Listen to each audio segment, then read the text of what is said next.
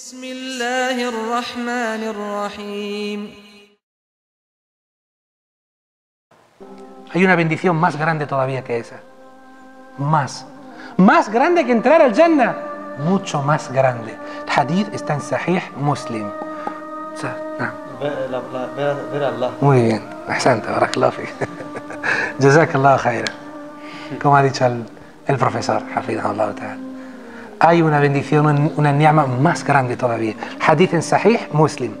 Dijo el profeta wassalam, que cuando todo el mundo esté en el Jannah y todo el mundo esté en el infierno y ya nadie saldrá, nadie entrará, disfrute o tormento, una voz llamará para que todos salgan de sus palacios y todos saldrán en el Jannah y todos estarán observando y esa voz de Allah wa ta'ala les dirá a todos oh siervos míos oh siervas mías ¿queréis algo? ¿necesitáis algo? ¿estáis a gusto?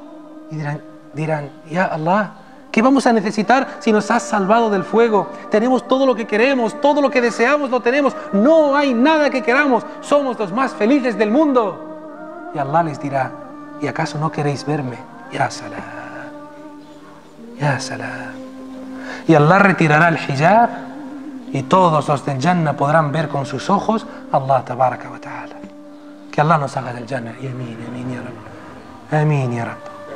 Queridos hermanos, muchos de vosotros que habéis viajado, que habéis estado en muchas ciudades trabajando, buscándoos la vida, hermanas que habéis estado fuera de vuestro hogar, años deseando ver a vuestros padres, dos, tres, cuatro, cinco, seis años, volver a mi tierra para ver a mi padre, para ver a mi madre, y cuando has vuelto después de tanto tiempo, has visto la cara de tu madre, el rostro de tu amada madre, después de tanto tiempo, la abrazas, le besas los pies, la quieres, porque amas a tu madre después de ver su rostro.